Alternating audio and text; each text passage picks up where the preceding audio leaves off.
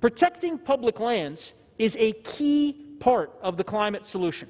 And I'm proud to say that we continue those protections here today with the formal support of the Biden administration. My contribution to this bill is the Colorado Outdoor Recreation and Economy Act, or the CORE Act.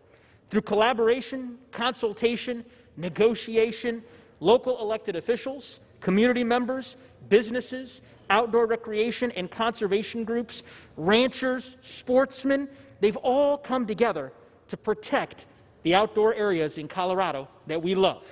In many cases, Coloradans have been asking Congress to protect these areas for a decade or longer. In total, the CORE Act would conserve more than 400,000 acres of public land, and each of the CORE Act's four sections were separately crafted by Coloradans. Camp Hale is one of the special places protected by the CORE Act. High on Colorado's Continental Divide, surrounded by the White River National Forest, the CORE Act would designate the first ever National Historic Landscape at Camp Hale to honor the storied legacy of the Army's 10th Mountain Division. The soldiers trained at Camp Hale and led our nation to victory in World War II. They then went on to create the modern outdoor industry, which today contributes billions to Colorado's growing outdoor recreation economy.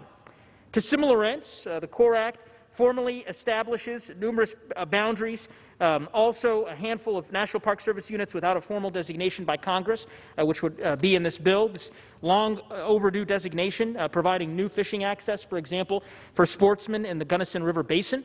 And in yet another win for Colorado sportsmen, the CORE Act protects Colorado's only migration corridor over Interstate 70 for elk, mule deer, and other wildlife. These areas are just a small sampling, Mr. Speaker, of the many non wilderness and locally supported protections included in this bill today. Additionally, the CORE Act makes a contribution of 73,000 acres to our national wilderness preservation system. Uh, the CORE Act Wilderness protects some of Colorado's most iconic peaks, including two 14ers, Wilson Peak and Mount Sneffels. And of the 400,000 acres of public lands covered by the CORE Act, about half is for the withdrawal and protection of the Thompson Divide. The Thompson Divide, through ranching and outdoor recreation, contributes $30 million a year to Colorado's statewide economy. It is one of our most treasured landscapes and an area that is simply too valuable to drill for oil and gas.